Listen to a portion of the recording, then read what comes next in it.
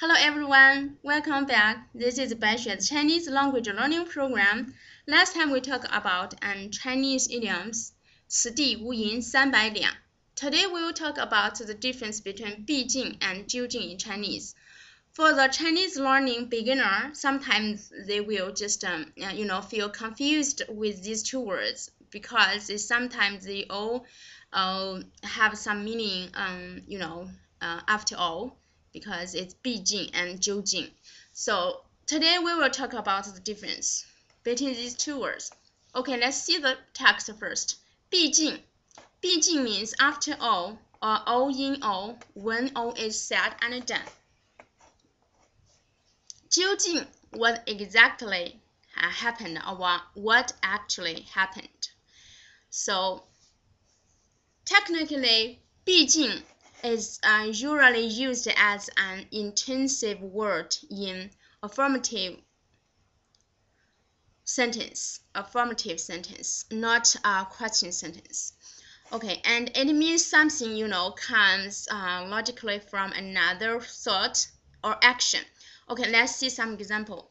For, for example, 别责备他，他毕竟只是个孩子。责备 means blame. 别 means don't. 毕竟 after all, 只是 means only. 孩子 means child. 个 is a measure word for 孩子。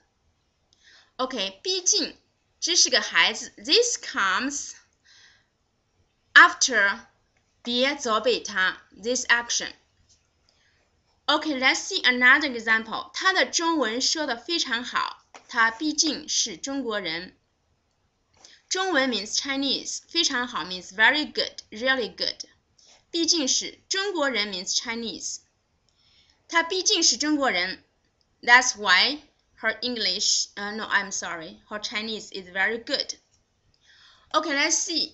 究竟，究竟 is also an emphasized word and usually is used in question sentence to look into or find out or investigate an answer to a question. It's just like saying what in the world happened here. For example, 他究竟是什么样的人？大家都十分好奇。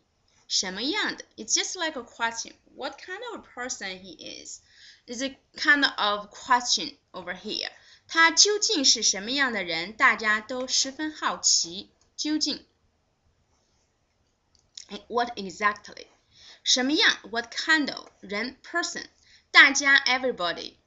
十分 means very，好奇 means curious。Okay, let's see another example. 你们究竟要干要什么？你们究竟要什么？哦，你们究竟要干什么？